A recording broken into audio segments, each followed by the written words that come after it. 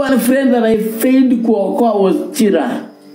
Because hakuwa ananisikiliza. Because hakuwa ananisikiliza nikimwambia waachana marafiki. The only friend that I regret kuokoa akashindikana was Chira. It was Chira. Because hakuwa ananisikiliza one day called Tira nikamwambia Tira, wacha kwenda usiku. Wachana na hao marafiki hawakusiki. akaniambia tomba mamako. Ni sawa. Nilitomba mamangu. Where is he right now? Where is Tira right now? Juu nilitomba mamangu. Where is Tira? marafiki wanajifanya wanakupenda. They give you everything but they kill you ndio maana sitaki justice for Chira. Yo hakunisikiliza. Hakutaka kunisikiliza. Takataka. Marafiki wako hapa kuran online kupiga kelele online waliua Chira. Walimtolea tu ka sadaka wakatumia mtu. Enda muue takulipa umbwa koko ndio maana sasa kusikia kinera justice for Chira ndio maana sitaki kusikia hiyo kitu. Nilimpigia simu. Nikamwambia Chira they will kill you Chira. They will kill you. Wachana wao wetoroka kama mwanaume toroka enda. They will look for reasons to kill you.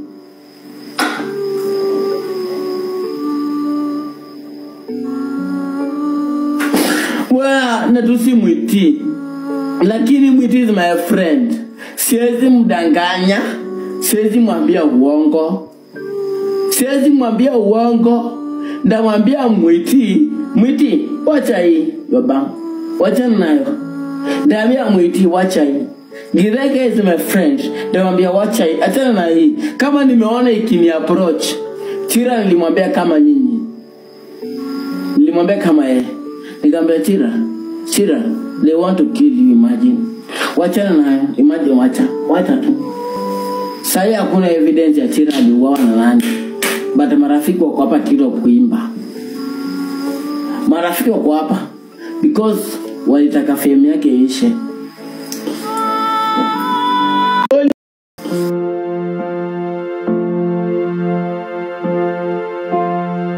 kuwa chira anahusika baba talisha anahusika ningesema ukweli hahusika hata hajui kenye na happen. Na kuambia ukweli. Marafiki zake wanapiga kelele justice for chira ndio maana nimejitoa. Kamua wacha niende njia yangu. I go my way. Sawa. Mimi stima imepotea. Mimi naenda kulala. Wacha nilale. Lakini mtu mmoja anafaa kuniheshimu kwa tiktok ni nyako hamda nyako wewe kama hiyo siku haikufika ukaniheshimu utawahi niheshimu kweli. Utawahi niheshimu kweli.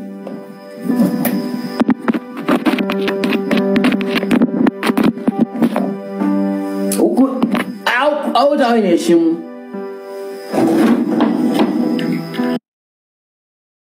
guys, uh, uh, history ya Brian Chira tumeifuatilia sana, tumeifuatilia, tumeisukuma na tukapata mpaka alleged murderers wako hapo nje, mpaka organizers wa kuuawa kwa Brian Chira. Unaona? I'm just going to ask the government directly, why is it that you're ignoring this story? Are you okay when our youth, you know, get killed and nothing is done? The family, of course, which of course is the only grandmother who is trying to follow up this matter, is not being, you know, hasted. Apparently, there was, yeah, the police who was involved gave these pictures to one Faustine or Babatalisha, famously known that, uh, known as that on media.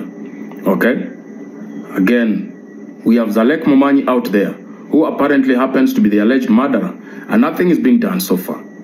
I have tried to go the way to the DCI, you know, seeking for help, thinking that actually the government can look into this. Because I'm a concerned citizen. Brian Chira happened to be an orphan who was left by the mother when he was only six years old. And I feel so much frustrated because even the friends, for instance, Prince Muiti, they confirmed this. It was an organized murder. Peter Kioi confirms this. It was an organized murder. Yet a fundraising was done, which of course was used to cover money laundering that is going on on TikTok as we speak right now. I'm trying to wonder how do we fight corruption? How do we stop economic sabotage if we will allow people to take lives of innocent young Kenyans and be able to carry out a money laundering? Something that everyone can see that clearly this is not a fundraising, but yet you maintain that to be okay. I am so much pissed off because clearly it shows. I would like anyone to explain to me how come nowadays photographers within you know within six months of work they can buy a Porsche car. Mtu Andudhi just recently becomes on TikTok. They don't earn any revenue from TikTok. They are now purchasing an Audi. Tell me if this is not money laundering. Because it is pure money laundering. And it pisses me off most that actually some of the government parastatals or institutions know this.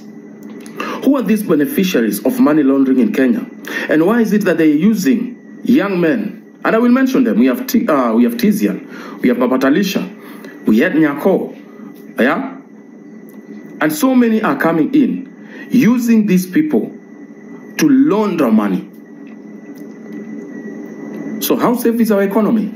The president is trying to make jobs, trying to look for jobs here and there. We have floods. You're walking to country to country. But if the little money that we have actually is being messed up, if we cannot be trusted with the little that we have, even if we get these, you know, loans, a lot of it, if we can't utilize the little that we have, so what is assuring us that if we get the loans from the Chinese, we get the loans from the uh, from the Americans, we get the loans from Europe?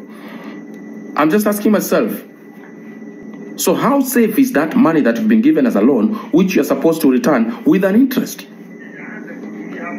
So I will just ask this government to please look into this. This is not just a murder case. It is more than it looks like.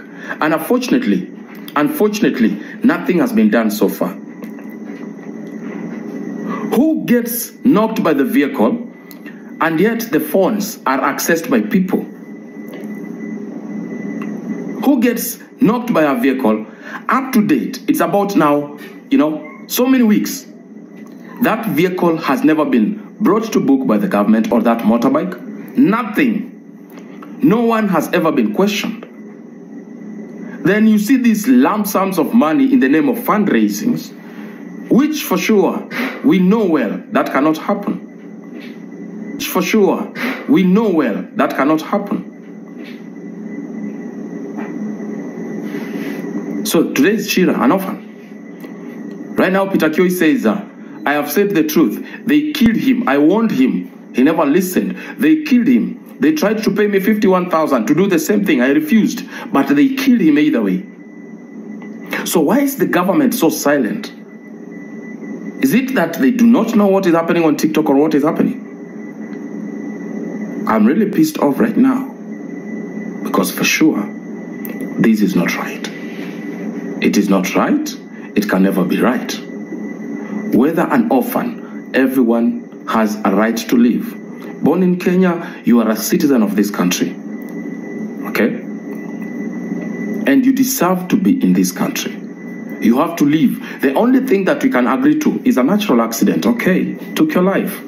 Old age, okay, took your life. Diseases, unavoidable, took your life. But somebody planning to kill you so that they can be famous and have these monies, people funding death so that that death can be used to pretend it's a fundraise in order for them to do money laundering. Please, I will just suggest and urge the Kenyan government, all the security institutions involved in this. Let us not shame ourselves to this level of playing blind. Let us not lower ourselves of being irresponsible. It's high time when such matters do occur, and I pray they don't. It's high time the DCI's, uh, the DCI, if NIS is needed as well, show us you are close as the lions of security, of investigations, and bring these murderers to book. Stop looking the other direction when you're needed the most. It's a shame. It's embarrassing. I don't know. You know, uh, initially we used to have cases whereby maybe the Tanzanian government, Ugandan government would ask our able DCI officers. Those times we used to have flying squad. We used to call them CID. You know, they would borrow our police officers to go and actually train their officers. I don't know if we still have the dignity. I don't know if we still have the respect. Because right now, things are happening in our country, serious things, and apparently, I don't know whether somebody's sleeping on the job or you're just ignoring or it's above you. So this is so much shameful to our country, to our security authorities. I am talking of Chiloba, who was killed. I am talking of Jeff Mwathi, who was killed. I am talking of Brian Chira, who was killed.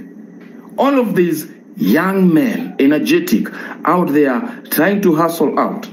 They do not have jobs, they are doing their own thing. Chira was doing his own thing, Jeff Mwathi his own thing, Chiloba his own thing. But the murderers are out there being praised. When will this come to a halt? When will we have a sober security institutions that don't take life with ease?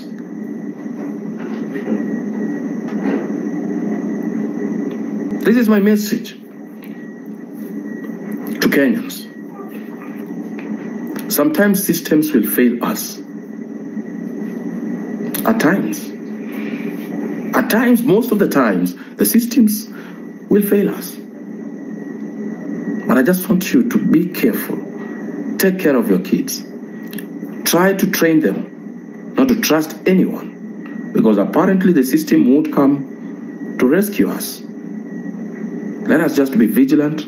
Let us be on the lookout and be protective of our family members.